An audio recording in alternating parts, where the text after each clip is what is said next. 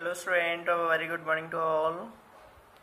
Today we are continuing with the third chapter. So in this video we are discussing about the what is the means of computer system and also we have to discuss about what is the means of what is the part of a computer system. So now here the definition of computer system. So the computers are an integral part of our lives whenever we are sitting in our homes, yeah, have working in the uh, office, yeah, driving on roads, sitting in movie hall, yeah, uh, stay in hotel so all the places the computer are very important role so here uh, the definition is the computer system so the computer system it is an automatic electronics after calculating device which can process a given input in a prescribe manner means जो भी हमारा computer रहेगा computer एक प्रकार से एक electronic device होती है जो कि क्या परफॉर्म करेगी एक प्रकार से कैलकुलेटिंग करती है, जो भी हमारा डेटा रहेगा, जो भी हमने डेटा इनपुट डिवाइस के थ्रू एक प्रिस्क्राइब मैनर के थ्रू हमने इनपुट कराया है और जो भी इनपुट हमने कंप्यूटर को दिया है, उस इनपुट के अकॉर्डिंग कंप्यूटर क्या करेगा प्रोसेस करेगा और प्रोसेस करने के बाद जो भी डिजायर्ड रिज़ल्ट होगा, उस रिज़ल्ट को प्रोड्यूस कर देगा मॉनिटर की स्क्रीन या फिर प्रोजेक्टर या फिर प्रिंटर जो भी हमारा आउटपुट डिवाइस जो भी हमारे सिस्टम से कनेक्टेड होंगी, वो उस आउटपुट डिवाइस के अकॉर्डिंग जो भी हमारा आउटपुट हमें जिस तरीके से चाहिए, वो हमारा आउटपुट हमें मिल जाएगा। And then at a very high speed with remarkable accuracy means जो भी हमारा आउटपुट रहेगा, एक प्रकार से काफ़ी फास्ट स्पीड में हमें आउटपुट जनरेट होता है और जो भी हमें आउटपुट मिलेगा, वो बिल्कुल 100 परसेंट एक्यूरेसी के साथ बिल्कुल करेक्ट मिलेगा। So it can also perform all arithmetic and logical function according to the instruction means computer क्या कर सकता है? मीन्स जो भी हमारे अर्थमेटिक कैलकुलेशन रहती है मीन्स जो भी हमारे सम्स रहेंगे, उन सम्स को कैलकुलेशन मीन्स जो भी कैलकुलेटिंग करना है, उस अर्थमेटिक ऑपरेशन के अकॉर्डिंग वो परफॉर्म कर सकता है और साथ में जो भी हमारे लॉजिकल फ़ंक्शंस रहते हैं, उसको भी परफॉर्म कर सकता है। बट किस तरीके से परफॉर्म करेगा तो उसके अकॉर्डिंग हमें क्या करना पड़ेगा? जो भी हमारा कैलकुलेशन या फिर जो भी हम अर्थमेटिक एक्सप्रेशन राइट कर रहे हैं तो उसका एक प्रकार से सिमेंटिक ऑर्डर होना चाहिए मीन्स सही तरीके से राइटिंग होनी चाहिए, जो भी हमारी अर्थमेटिक एक्सप्रेशन हमने जो राइट की है। एक सिमेंटिक ऑर्डर के अकॉर्डिंग और देन आफ्टर कंप्यूटर क्या करेगा? सिमेंटिक ऑर्डर के अकॉर्डिंग उस प्रॉब्लम को सॉल्व करेगा and produce the processed information and now we will discuss about the parts of a computer system. So, the, basically the computer system has divided in four parts. The first part is input unit So uh, input unit is also known as the input device. Uh, input unit have contain only the all input devices. Means uh, जिसकी मदद से हम क्या कर सकते हैं? Computer में input uh, दे सकते हैं। अब इनपुट हम किस तरीके से दे सकते हैं? या तो कीबोर्ड या फिर लाइट पेन हुआ या फिर माउस तो जो भी हमारी इनपुट डिवाइस रहेंगी तो उस इनपुट डिवाइस की मदद से हम क्या करेंगे? कंप्यूटर को इनपुट प्रोवाइड करा सकते हैं। And then after the second part is memory unit the basically the memory unit have contain a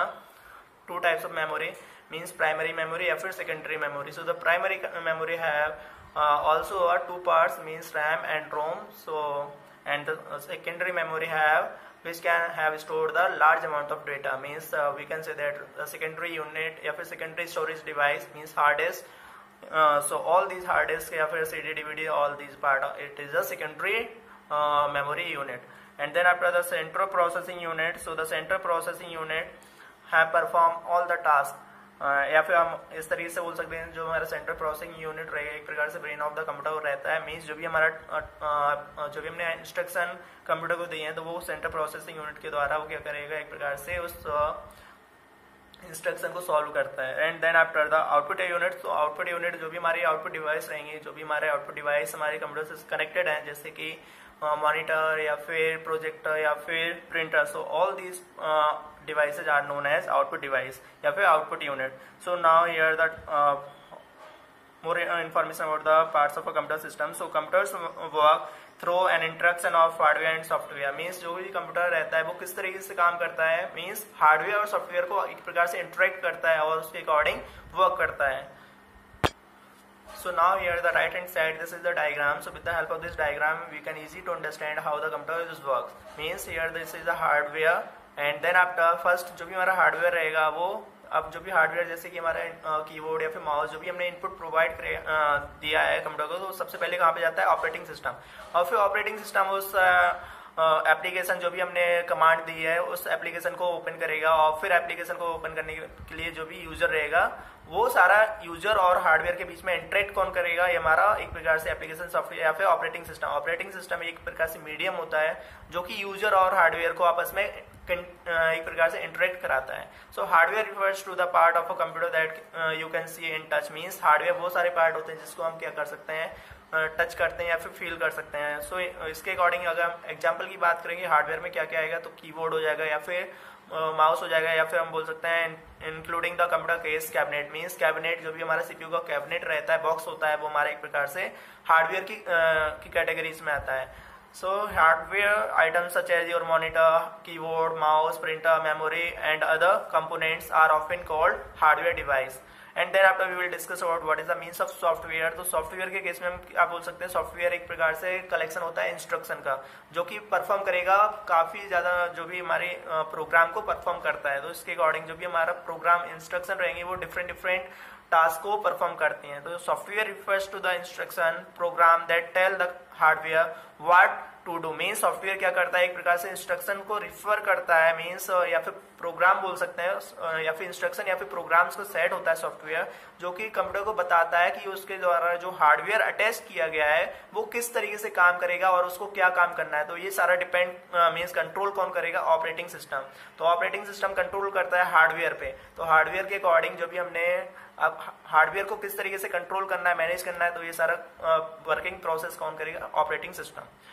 So a word processing program that you can use to write letter on your computer is a type of software तो जो भी हमारा word processing software होता है, जैसे M S word तो M S word एक प्रकार से हम बोल सकते हैं वर्ड प्रोसेसिंग प्रोग्राम होता है, जिसमें हम कीबोर्ड के द्वारा कुछ वर्ड्स को टाइप करते हैं। उसके अकॉर्डिंग ऑपरेटिंग सिस्टम क्या करता है, उन सभी वर्ड्स को एक प्रकार से प्रोसेस करता है और प्रोसेस करने के बाद जो भी हमारा हमने टाइप किया है, उस वर्ड्स को एक प्रकार से डिस्प्ले करा देता है हमारे मॉनिटर की स्क्रीन पे। तो हम बोल सकते हैं जो हमारा ऑपरेटिंग सिस्टम होता है, वो एक प्रकार से मीडियम होता है यूज़र और हार्डवेयर को आपस में या फिर यूज़र और कंप्यूटर को आपस में इंटरेक्ट कराने के लिए। So the operating system is a software that manage your computer and the device connected to do तो ऑपरेटिंग सिस्टम एक प्रकार से सॉफ्टवेयर होता है जो कि मैनेज करता है कंप्यूटर और उससे जुड़ी जितनी भी डिवाइसेस होती हैं, उन सभी डिवाइसेस को आपस में कनेक्ट करने के लिए। So Windows is a well known operating system so अगर हम बात करेंगे ऑपरेटिंग सिस्टम के अकॉर्डिंग तो विंडोज़ हमारा एक प्रकार से ऑपरेटिंग सिस्टम होता है। So now we will discuss about the next part so the next part is input unit so the input unit the input data instruction are throw through this unit to the computer so जो भी हमारा data जो भी हमने input के द्वारा computer में provide किया या फिर इनपुट uh, देते हैं तो वो सारा डिवाइस जो हमारी क्या हो जाएँगे, एक प्रकार से इनपुट यूनिट हो जाएँगे। तो इनपुट यूनिट के अकॉर्डिंग स्टैंडर्ड इनपुट डिवाइस तो स्टैंडर्ड इनपुट डिवाइस के अकॉर्डिंग हम किसके बारे में बात करेंगे? कीबोर्ड तो जो भी हमारा कीबोर्ड रहेगा, एक प्रकार से स्टैंडर्ड इनपुट डिवाइस होती है, जिसके द्वारा हम मल्टीपल ऑफ़ करेक्टर या फिर जो भी इंस्ट्रक्शन जो भी हम दे सकते हैं। तो keyboard is is use to provide text based input means keyboard के द्वारा हम क्या कर सकते हैं? एक प्रकार से टेक्स्ट बेस्ड इनपुट दे सकते हैं या फिर एक प्रकार से न्यूमेरिक नंबर के अकॉर्डिंग भी इनपुट दे सकते हैं। So various combination of keys are use to issue specific command to the computer तो जो भी हमारी कीबोर्ड रहता है, उसमें काफ़ी ज़्यादा स्पेसिफिक कीज होती हैं, जो कि वेरियस इन्फॉर्मेशन या फिर वेरियस कमांड को परफॉर्म करती हैं। So it is also use to input tax content या फिर number of various document so standard keyboard layout it is called quartic layout so जो भी हमारे कीबोर्ड होते हैं तो उसका जो लेआउट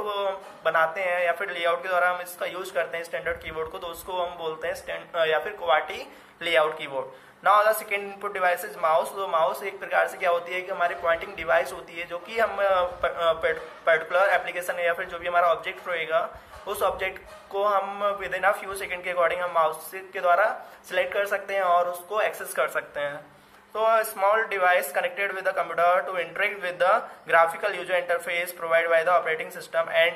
to click. तो माउस एक प्रकार से क्या होती है कि हमारे कनेक्टेड डिवाइस होती है या फिर बोल सकते हैं पॉइंटिंग डिवाइस होती है जो कि हमारे कंप्यूटर और यूज़र के बीच में एक प्रकार से ग्राफिकल यूज़र इंटरफेस क्रिएट करते हैं, जिसके द्वारा हम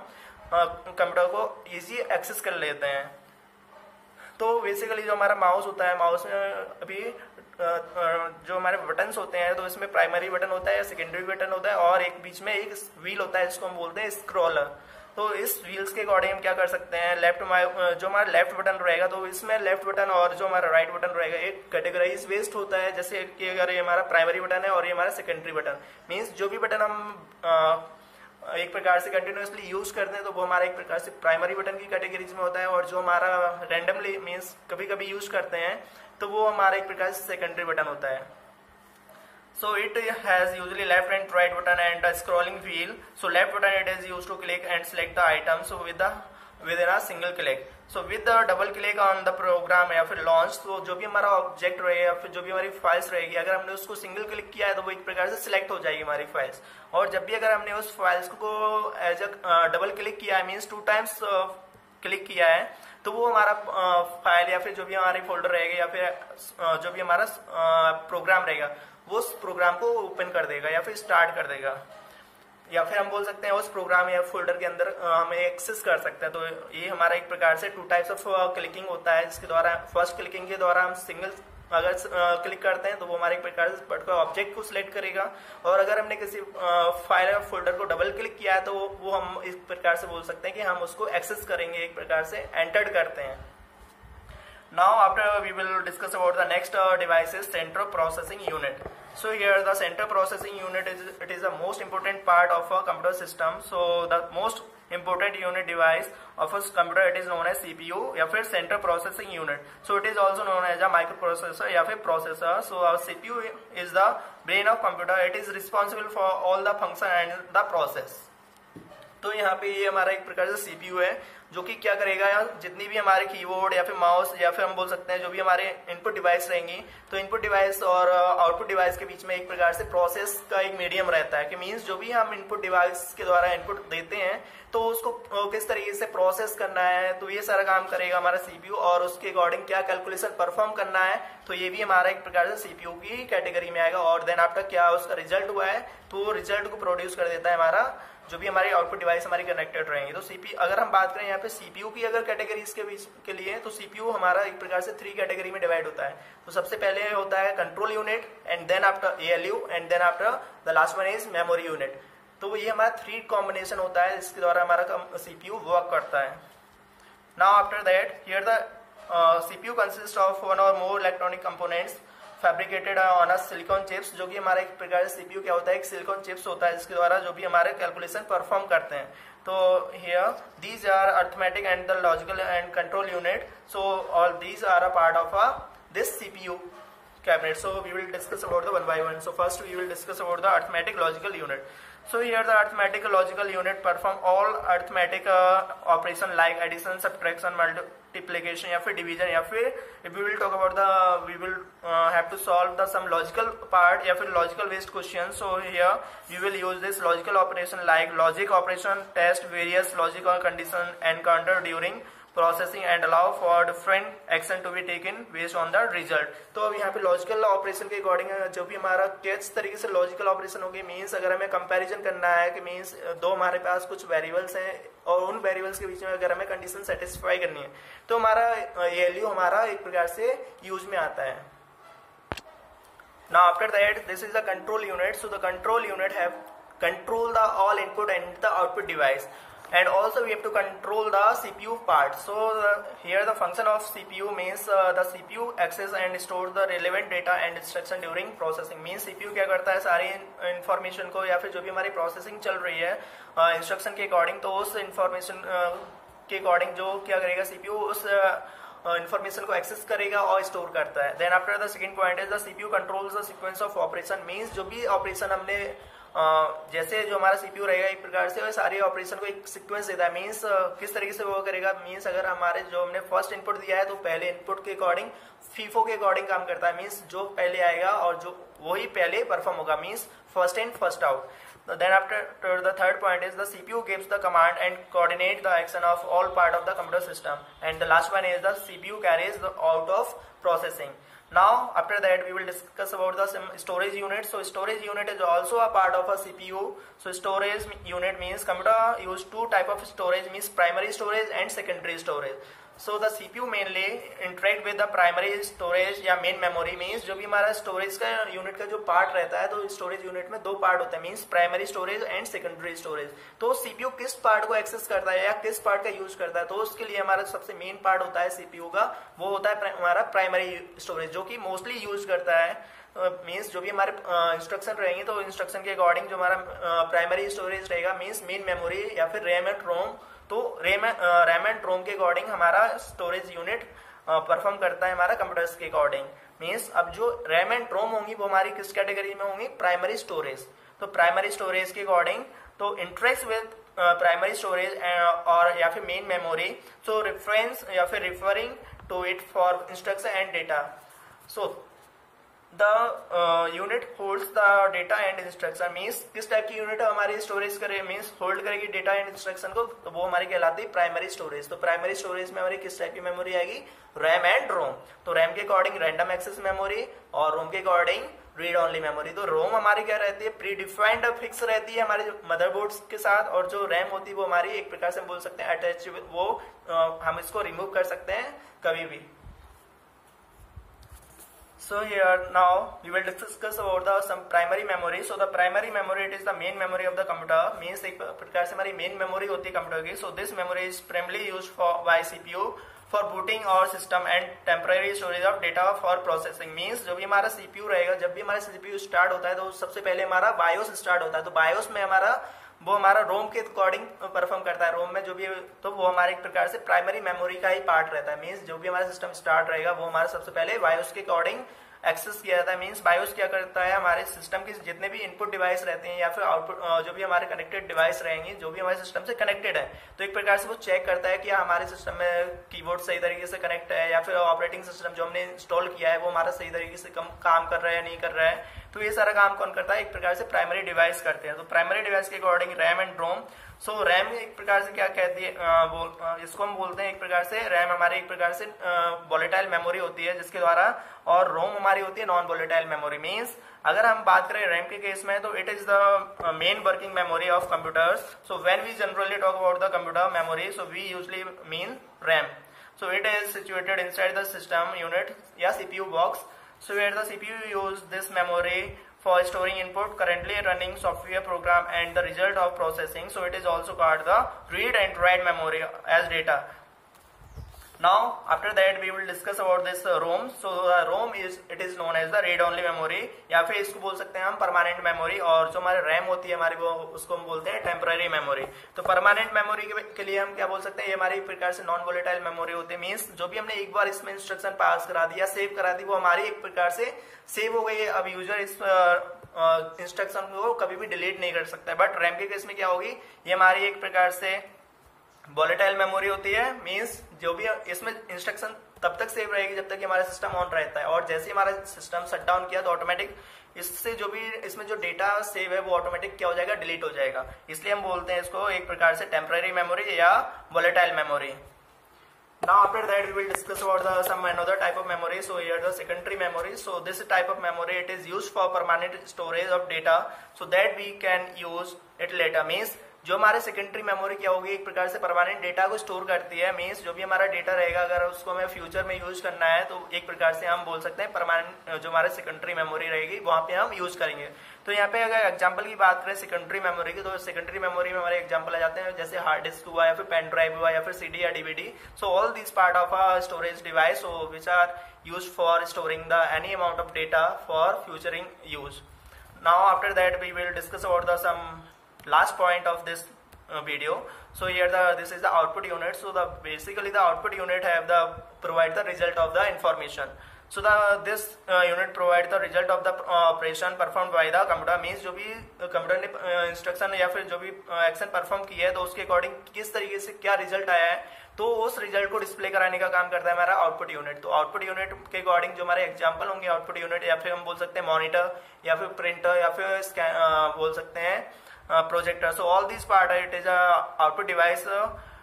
so here the definition is this output unit so this unit provides the result of the operation performed by the computer so computer generates the output of the processing in the form of text या फिर graphics के according भी बोल सकते हैं या फिर audio या फिर वीडियो सो इट इज़ एक प्रकार से फॉर्म होता है जिसके द्वारा जिसके द्वारा हम क्या कर सकते हैं जो हमारा आउटपुट रहेगा उसको